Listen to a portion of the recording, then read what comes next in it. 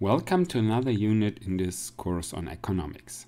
This time I'm going to talk about the so-called Keynesian cross, which basically gives like an introduction to the general idea of Keynesian modeling, which then culminates in the Mundell-Fleming model or the ASAD model.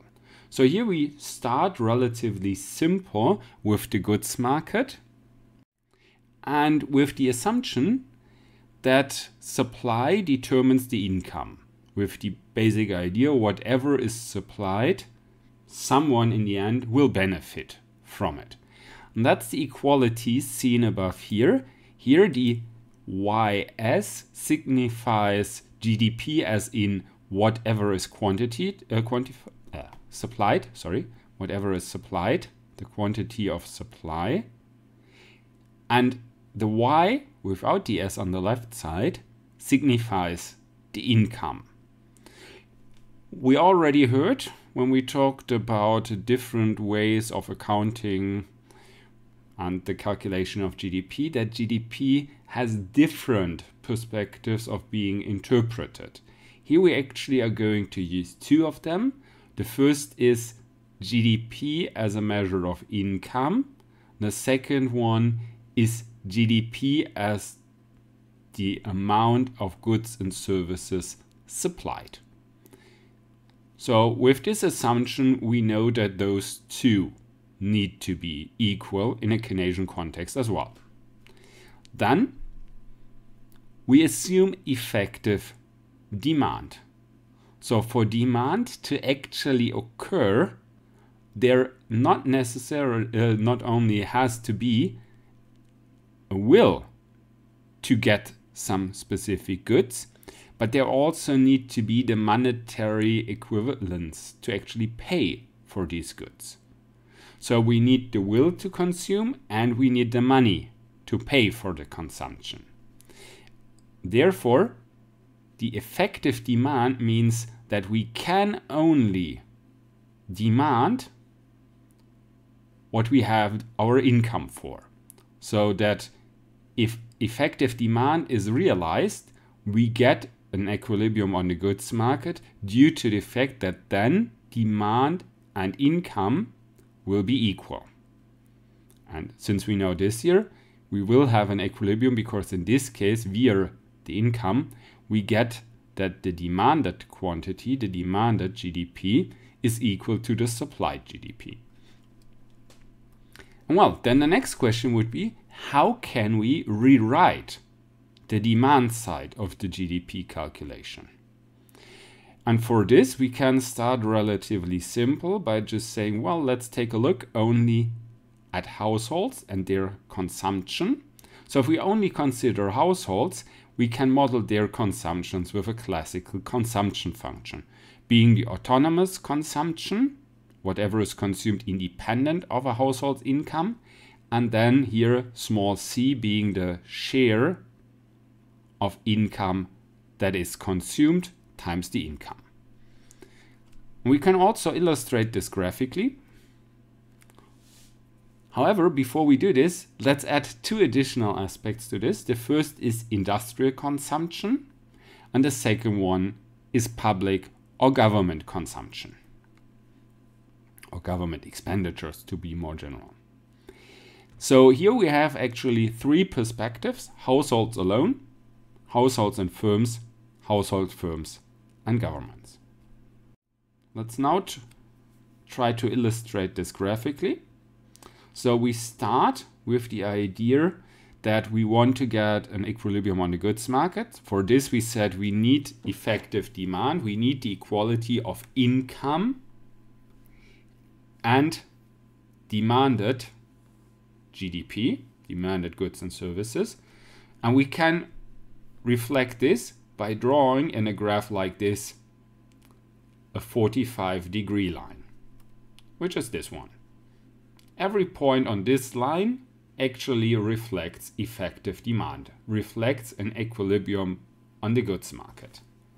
Then, in addition to this, we can also draw our different versions of demand, either by only considering household consumption by considering household and company consumption. So here, this part as in the consumption plus exogenous consumption by households, uh, by companies, as in investments.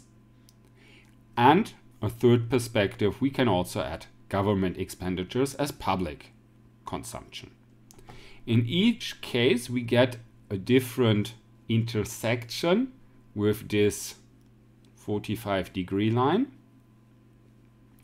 And each of these points, since it intersects this effective demand line, represents an equilibrium situation on the goods market. And the values down here give the corresponding GDP in these equilibria. Well, that's the perspective for a closed economy. Because in a closed economy, I only have to consider domestic households, domestic companies, and our government. If, however, I have an open economy, I need to consider exports and imports as well. This I'm going to do in a second graph. Here I'm just copying the first part from the previous slide. So more or less the same axis. Here effective demand. So we have here the effective demand. And then I start by including my demand function for a closed economy. So this is excluding foreign exchange. If now I have foreign exchange happening, or rather simplifying this, if I have exports and imports, I can add this small graph below my original one, assuming here exports and imports depend on my income and on foreign income.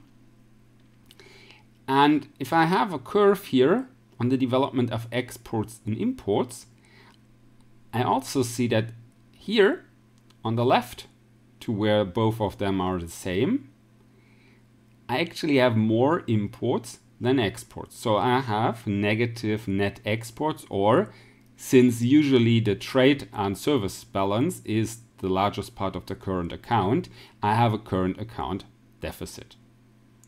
Correspondingly, on the right side, I have a current account surplus. If I keep this in mind and add now the net exports to my demand, because they also signify some kind of demand, not domestic demand, or rather not domestic demand for domestic goods, but foreign demand for domestic goods and domestic demand for foreign goods. If I add this here, I will get this curve, which is slightly off from my original one, not moved upwards or downwards, but just shifted by a few degrees, except for the original point where they intersected, because at this point, if I move downwards this line, that's a point where exports and imports are actually the same. In this situation, the further to the left I move, the larger my current account deficit, the larger my negative net exports becomes. So here I'm continuously becoming lower than the original function. So the difference here are actually the net imports, which are negative in this situation. Back here, the difference is also the net exports, but here they're actually positive. Therefore, this curve here lies above that one. So this shift, or rather, sorry, not the shift, this turning of the curve is due to us having in this situation either deficits or surpluses, either negative or positive net exports, which we need then to include into our model as well. Considering the equilibrium situation, nothing will change.